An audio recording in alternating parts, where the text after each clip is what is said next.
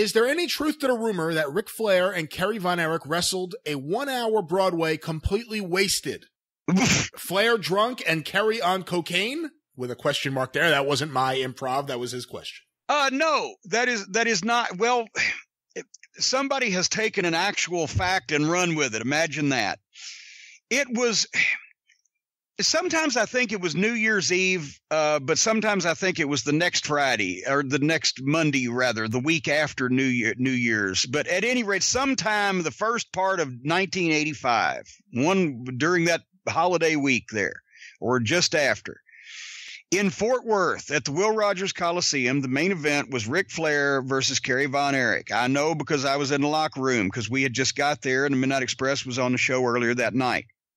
And the place usually Fort Worth for the Monday night TV taping that wasn't an earth shaking, you know, event. It looked like a the crowd looked like a piss hole in a snowbank. You know, it was about a ten thousand dollar house or whatever, which would have translated in those days to maybe fifteen hundred or two thousand people. But in this goddamn six thousand seat building, it it just it was not a great atmosphere. However, on this night, since did I mention the world title between Ric Flair and Kerry Von Erich was on the line? It was sold out. The house was like I'd have to look at my book, but sixty grand or whatever the fuck, and it was it was hanging from the rafters, as they say. And then there was some type of commotion because and I was actually I was riding by myself because I'd wanted to stay and, and watch the match, whereas sometimes Bobby and Dennis might want to leave after their day. Okay, whatever, right? So I know there's commotion before the match. They can't find Kerry.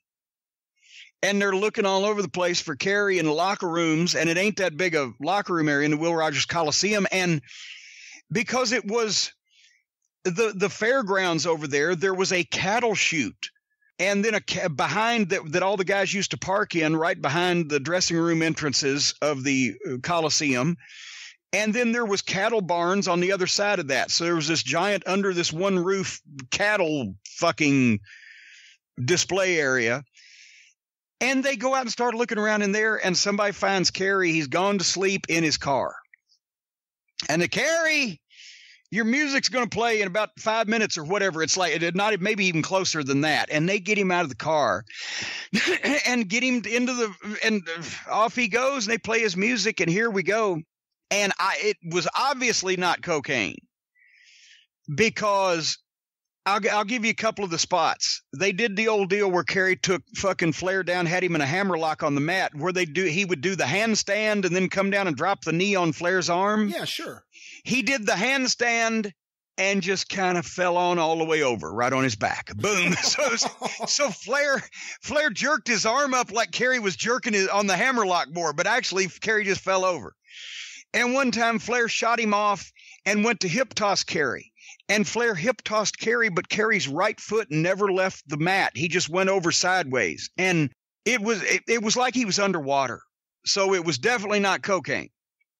And, and finally they went an hour Broadway and in front of this sellout crowd. And because we did TV in Fort Worth that would air the following Saturday night on on on uh, what was it? Uh, was it KTVT or whatever? Channel Eleven, the biggest you know independent station in the state of Texas, from ten to midnight on Saturday aired the two hour wrestling program from Monday night in Fort Worth.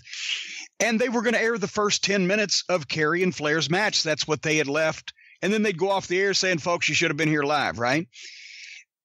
Marc Lowrance had to do the voiceover uh, during Kerry's entrance saying, Ladies and gentlemen, we wanted to let you know that Kerry Von Erich wrestled this match against doctor's orders horribly sick with a fever of 103 from the flu. but he didn't want to not only lose his chance at the world title, but let his fans in Fort Worth down that had come to see him. So he was under the weather in this title defense. And they voiced that oh, and, and then showed the first 10 minutes, including the fucking handstand Waller over. And so then after the match is over, after an hour of that, Flair comes in the fucking through the curtain and into the fucking locker room, and there's Ken Mantell, the booker, sitting there at the monitor that was right there in between, right at the where you went out, in between the babyface and the heel locker room, and he had the NWA belt, and he pitched it at fucking Ken Mantell. Mantell caught it, and Flair said, "Here, you work with him the rest of the week." and, and fucking he's taking his and you know so and I guess they you know they uh, all reconciled after that, but it was not a, a pleasant night in Fort Worth.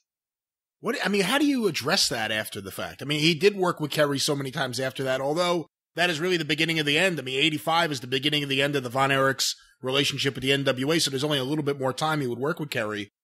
What do you say? And and, and things like that, you know, probably hastened it up on because it wasn't.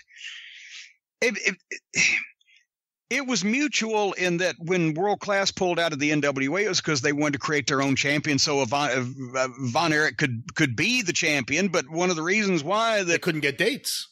Well, yes, and they couldn't get dates. But one of the reasons they couldn't get dates is because of shit like that happening. And one of the reasons why the Von Erichs couldn't be champion is because of shit like that happening.